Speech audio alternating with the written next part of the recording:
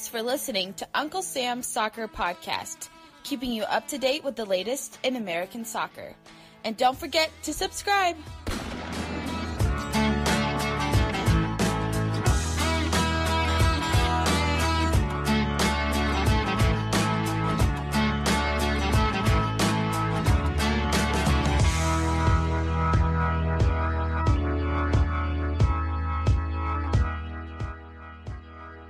Everyone. Welcome to Uncle Sam's Soccer Podcast. My name is Stephen Jodrand. Joining me, as always, are Kafai and Jake Watroba.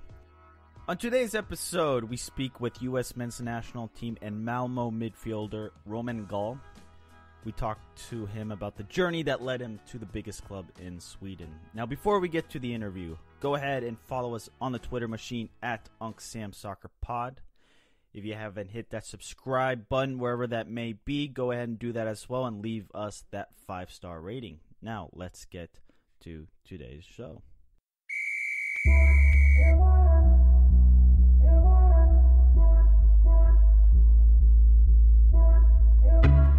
Alrighty, fellas, how are we doing today? I'm doing good. What about you, Jake? I'm doing great. I'm doing great. Snowed in here up in Minnesota, but all things considered, we're doing all right. Awesome. Well, let's just jump straight to the interview and just some background for you listeners. We recorded this early Tuesday morning, so before the Chelsea Europa League uh, match. And yeah, so we might sound very tired because it was very early in the morning, but it's a great interview, a lot of great discussion, a lot of good talking points. And yeah, let's just get straight to it. Joining us right now is U.S. men's national team and Malmo midfielder Romain Gall. His manager calls him a match winner. He has fantastic quality, makes his mark in games when a team needs it. Romain, how are you doing today? I'm good. Thank you for having me. Romain, you've logged some serious air miles, voyaging multiple times over the Atlantic. Um, but let's go back to your early roots. When you made the move to the United States from Paris, France at the age of seven, where was soccer on your mind? Um, at that time, you know, it still wasn't um, anything serious because I was so young. So, um, you know, I, I think I started really engaging into it seriously when I was about seven, when I moved to the U.S. and then I got on an official team. But before that, um, I think it was just messing around and nothing too serious. Romain, you you joined the MLS academies of Real Salt Lake and DC United pretty early on. What was what were those experiences like? Uh, they were great experiences because uh, I was playing, uh, for example, DC United. I was 14, uh, playing with the under 16s. So playing two years up was was obviously a good a good growing process for me, and uh, and it helped me evolve my game uh, sooner than than most 14 year olds. Um, you know, and then we had a, a great um, MLS Cup tournament which uh, we ended up winning the whole thing. And then going to Real Salt Lake was also was also great because it was a residency program, and I was able to train every day and and be in that you know closest thing to in a European environment. So I think both of those helped me a lot to to be where I am right now. When you when you talk about RSL's academy, I think a lot of people mention that it's one of the better academies in MLS, and I think you just mentioned that it was very European. Like, what were the aspects that made it uh, more European like than, let's say, I don't know, I hate to compare things, but like DC United's? Yeah, I mean, I think um, it was more European like because of uh, the residency of it. You know, we we all lived together, we all went to school together, we all trained together every day. Um, so it's more like you're there and you have one thing to focus on, which is which is your football and obviously school as well. But um, it's just more, you know, more possibilities to do in case we want to do double sessions or, you know, just be bonded with the group a little more. I think I think uh, in that aspect. And in Europe, they're mostly all like that, so that's why. Romain, at 16, you left for France, and you're quoted in the in 442 for saying Quote, in France, the level is much higher. The speed of play is much faster. The development starts at a younger age. I think they implement more tactical situations and they have you understanding the game. I know there are some drills that I was doing really young in France that the kids in US won't be doing until they are much older. Do you think your time in MLS academies hindered your growth as a footballer? Um, no, I don't. I don't. Um, it, it's tough to say because obviously, when you go overseas, they've been doing it for a long time, you know, and they have uh, they have the best of the best, and um, but we're just starting off. You know, not every MLS team, for example, has the same type of program, so. I think it's just different. Obviously, I think if, if I would have been in Europe, just like any other player, you you definitely and you're in that residency program, you're you're definitely going to learn faster and quicker and and and you know learn things better than if you're not in a residency program. You know, so I think it's just uh, the the different cultures and the developments and uh, how how the setup is right now. Romain, um, just out of curiosity, why uh, did you decide to go back uh, to France? Um, was that your only option, or did you have multiple other options on the table? Why specifically did you decide to go back uh, to play academy in France? Well, I'm French, so I yeah. think that was uh, a big thing, you know, to kind of feel at home, and uh, it was a, a country that I was familiar with, that I had uh, contacts in.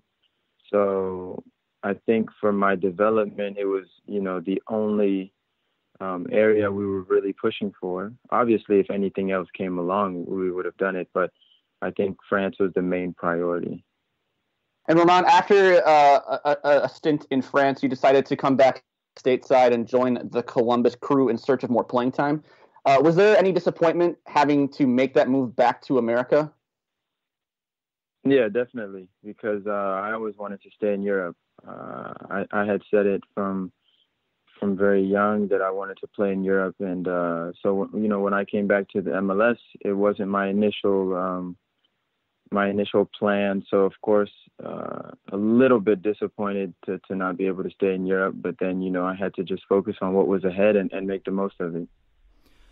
At that age, when you decided to come back, what was the topic, or among footballers, what was the conversation of the image that MLS uh, had?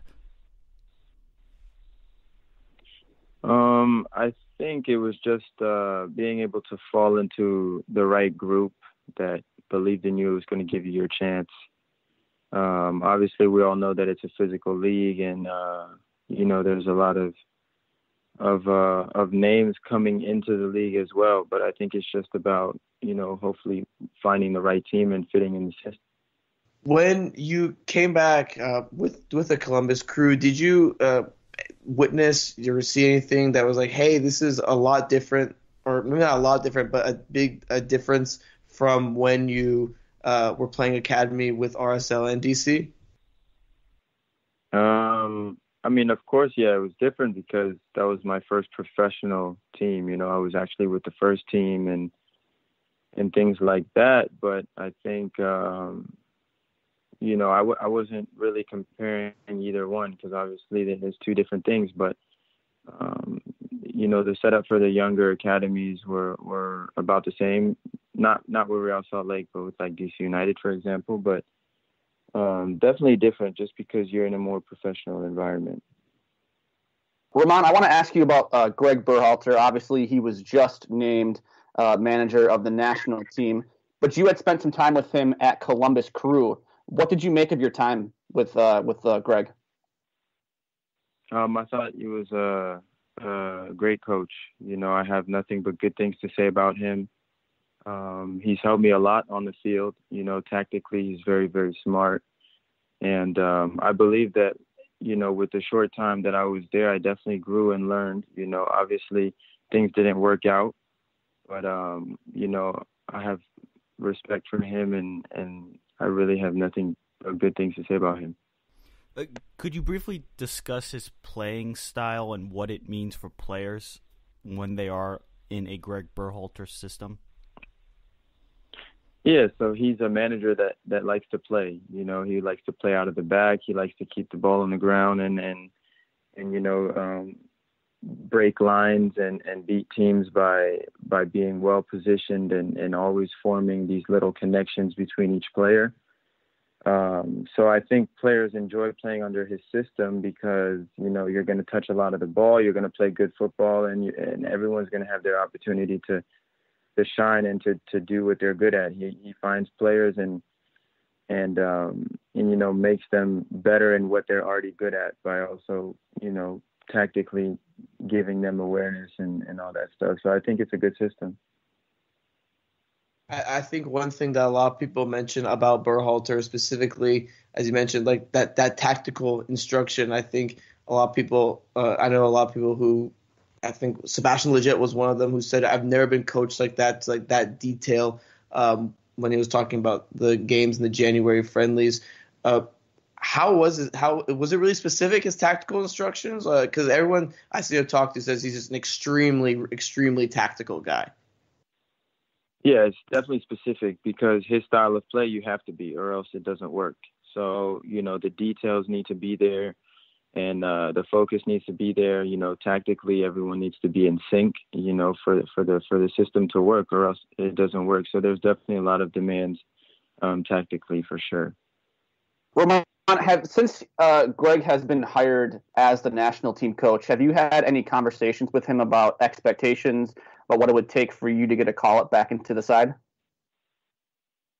Um, yeah, he gave me a call, and um, you know, we spoke a little bit. He just told me that uh, you know I was doing well, and and to keep doing what I was doing, and you know that m- my time would would eventually come, and uh, so you know it was just it was just a good conversation to to have and you know speak to him again. Mm. So let's move on. You leave MLS and, and you end up in Sweden. What was that experience like? Again, moving back overseas and playing European football. Um, well, that one was also difficult because I moved back to the third division. So obviously I was happy to be back in Europe, but then the conditions I was in was was also difficult, and being back in third division is not the happiest that you're gonna be. But you know, I knew what I had to do. I, I grinded it out, and um, you know, I, I was just gonna try and keep moving up from there. I told myself that there's only one way to go now, and that's up. What was the biggest adjustment that you had to make? You know, coming, uh, I guess, from America to Swedish football? What was the biggest uh, difference, I guess, or adjustment that you personally had to make? Um, well, in my first club, since it was uh, in the third league, I think the professionalism was definitely a, a big change. You know, it, it, wasn't like me coming from Columbus, like a professional um, environment. Um, and then style of play, you know, when you're in the third division, it's it's very chaotic. Uh, you know, it's not as much tactical. Um, so you know, these are just styles that you have to get adjusted to quickly.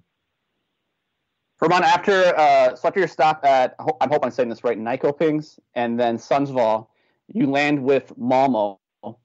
Um, did you ever think you would get to this point where you were playing it for a top side in a country like Sweden? Um, I always, I always believed in myself to play for a top side um, in any country. Um, I didn't know it was going to be Malmo. I didn't know it was going to be in Sweden, but you know that's that's that's the goal. That's how you keep the the faith alive. So I always believed in myself to be playing for a top club anywhere in the world. So yeah, I mean when I, when Malmo came and and was ready to sign me, I was very happy. Do do you feel the uh, the shadow of Zlatan Ibrahimovic at Malmo? No, I don't. Uh, I think he No, he's done his magic over here, and uh, you know, obviously everybody respects him, and but no, no shadow. But uh, as far as this current season, you guys are, are playing Chelsea in the Europa League. We're not too sure when the interview will drop, but how, how are you feeling so far? How how are things going?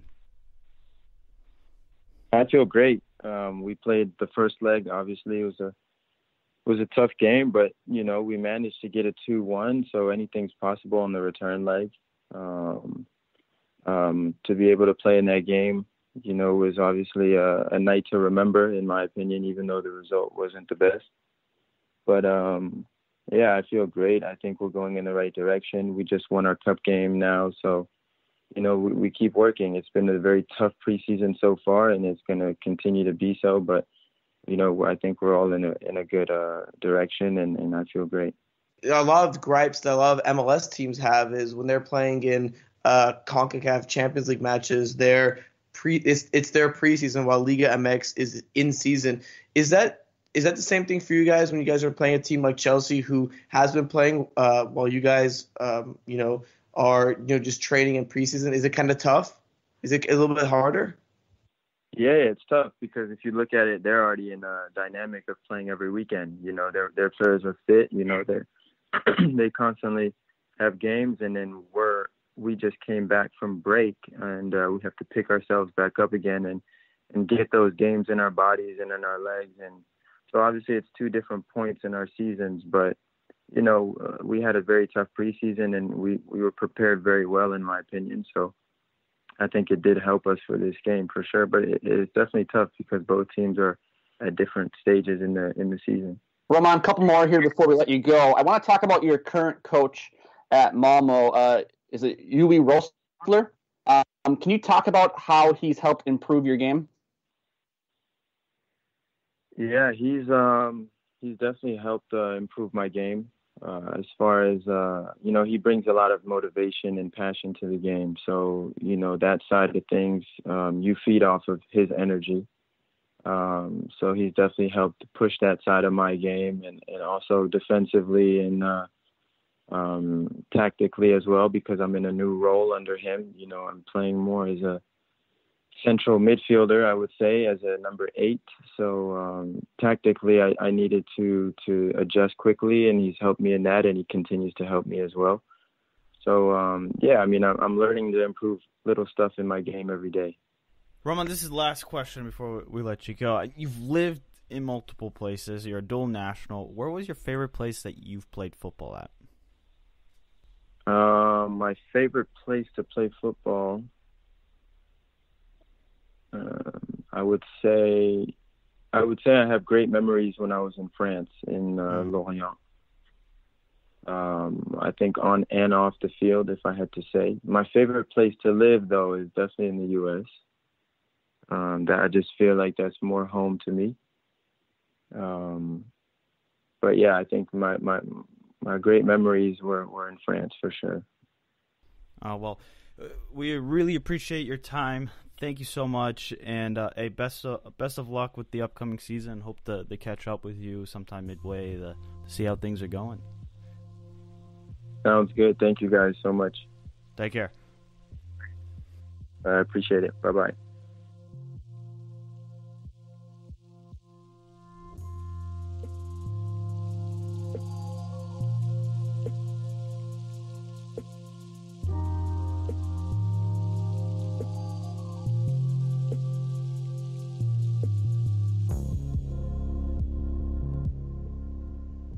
Guys, really interesting interview with Romain. Thank you for joining us on the show, Romain. But guys, what do y'all take? What do y'all make of Romain's thoughts? Um, I think especially the most interesting thing for me was the the academies, RSL Academy, which he compared to as being very European-esque because of residency program, and a lot of the more successful MLS programs too come to mind. FC Dallas and I think the Union both have residency programs for their academies, and they're the better academy teams. So, I mean, what, what do you make of that whole uh, discussion we had about his time with the MLS academies? I think that's uh, an interesting point. I don't think we get enough insight from players talking about the development and what you see in, in this case in this interview is he did his development here early on, then went to France to continue his development, and then he came here to begin his professional career. So you you see a journey that you might see more often than not in the next several years with the way MLS continues to expand in this market that Europe sees in America with potential future talent. So uh, I think this is great insight into how MLS functions and in broader terms how US soccer functions when it comes to how they handle their youth. I, I, I will say this um, th- that I thought was interesting. I know Steven thinks this was interesting too, was when uh, Romain mentioned that he was a little disappointed when he had to come back to America to play in MLS after his uh, stint in France. Um, I think that's I don't know if that's really telling, so to say. But I, I, I think it's it's nice that we have American players now that just don't want to just settle for MLS. That it really shows that uh, Romain's hungry and, and and wanted or at least wants to improve upon you know himself as a player on the pitch. Well, I mean, I'm I'm sure like if you get a player like uh, what Sergiño Dest at PSV, if you know he's been in the academy in the system, you get a taste that European football. I mean, if you have to come back to MLS, like, hey, like it is what it is. MLS is not the same level as some European football. I mean, we all know that, and I think everyone who watches MLS and watches other football know that as well. So I mean, I think, of course, if you're a player that's developing in you know or was developing in France or you know a team in League uh, or you know a team even in the Netherlands or in England, you're going to be a bit disappointed. And say, hey, I'm dropping down a level to come play in MLS, and I think the situation with Romain is really interesting because the United States isn't his home country. France is. So a lot of different, you know, dynamics playing there. But I mean, I think it's kind of expected to be disappointed. But again, you're right, Jake. It's really refreshing as well that hey, look, the guy is not happiest. You know, come to MLS and just really hungry, wants to go back, and he bet on himself by going to the third division of Sweden. So isn't that what you want to hear though? I was disappointed to come back to MLS or have it even starting out in MLS, then clawing himself to the third division yeah, in Sweden and then to the biggest club in Sweden. Like, isn't that somebody is as a coach? You sit there and like, okay, this guy gets it.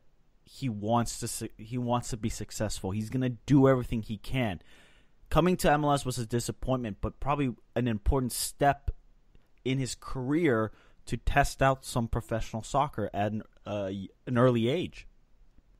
No, Stephen, you're right. It, it, that that is what you want to hear, but I mean, let's let's be real here. You know, four, five, six years ago, we had guys like Jozy Altidore, Michael Bradley, uh, Jordan Morris, who, you know, ha- had an offer in Europe and decided, well, I just got a new puppy. Sorry, I can't I can't go play in Germany. I got to stay home in Seattle. Which, you know, if, if that's what you want to do, I mean, I mean, by all means, do it. That's if if he didn't want to leave his comfort zone and, and, and, go test the waters over in Europe. I get, you know, whatever. This is America. He can choose whatever he wants but, to do. But our, Jake, I think Armand obviously just touched on this, but Romain's dual nationality cannot be overlooked in why he wanted to be in Europe more so than, say, a Jordan Morris. I, I, I think players who grew up in America might be a little more comfortable with what they have here – and they look at Europe as as a prize. But when you get to Europe, and I, I, Christian Pulisic talked about this, is that every player out there is competing for the same job as you are. In in, in American sports landscape, not every athlete is wanting to be a professional soccer player. In Europe, it would seem a majority of athletes at a young age want to be professional soccer players, professional footballers uh, the in, the interesting thing with uh, Gall is I wonder how many people or uh, players would take the risk that he did and go play like the third division of Sweden.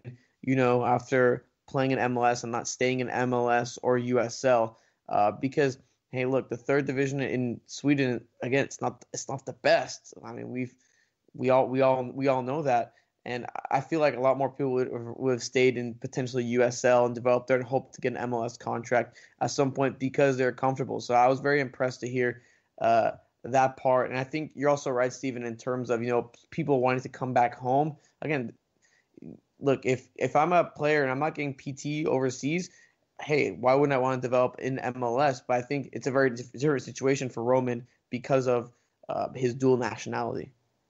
Armand, Armand, let, let me. I, I actually think it was better for Gall to go to the third division of Swedish football and try to make a name for himself there than try to find his way in USL and hope he gets an MLS contract. Because oh, how I many agree. times how many I times agree. do we see USL players getting uh, MLS None. deals? None. None.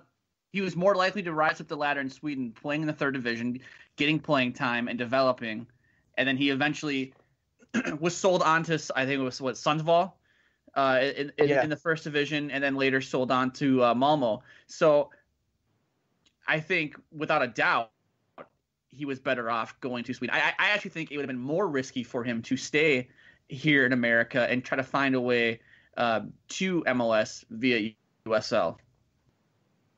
I mean, I, I, I, I agree with you in terms of like mobility because it's an open pyramid over there, and you know he, if they get promoted, they get promoted, he can move up, or if a team notices him, they can pick him up as well. And like we said, we all we always talk about how USL uh, players aren't really targeted enough by MLS players. And by the way, Aaron Long, who was a USL player, uh, signed what like a three year that's worth almost nine hundred thousand dollars a year for one of the richest, making him one of the richest center backs in MLS. Just want to throw that out there and say, hey, there's talent out there.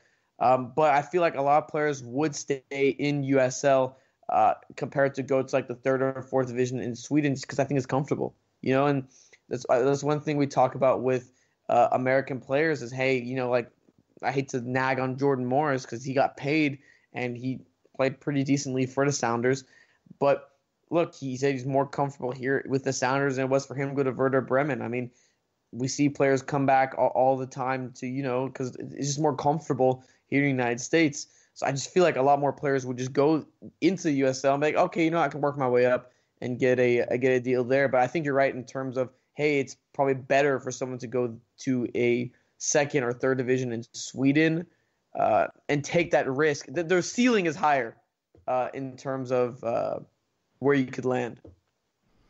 Armand, let me let me ask you this. We got a Twitter response or somebody responded to us asking this question. Where does Gall fit into Berhalter's system with the US men's national team? It's interesting because uh, he was a winger before, but he said in our interview that his coach is training him as an eight.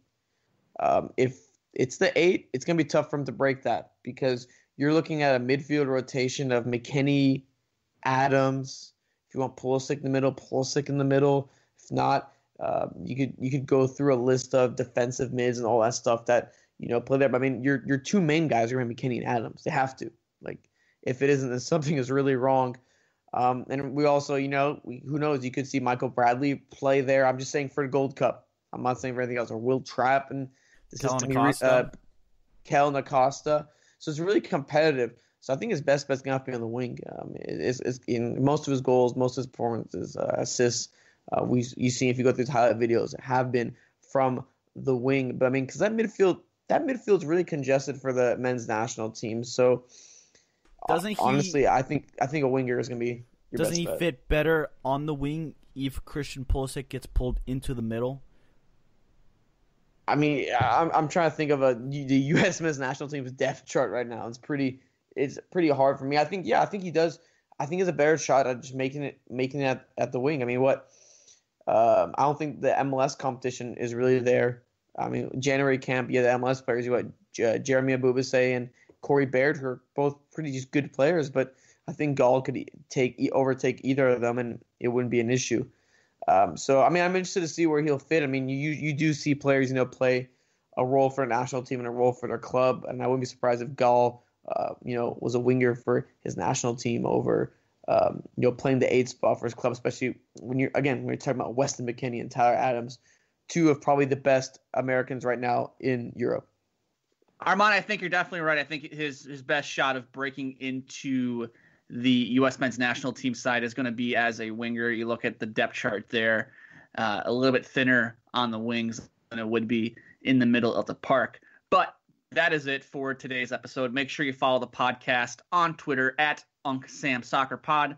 Follow Stephen Jodaran at Stephen Jodaran. Follow Armand Kafai at Armand Kafai and myself at Jake Watroba. Make sure you subscribe to the show anywhere you get your podcasts, iTunes, Spotify, Stitcher, wherever. Make sure you leave us a five star review and make sure you tell your friends too. Yes. MLS preview uh, show coming up this next episode, so stay tuned for that. And yeah, until next time.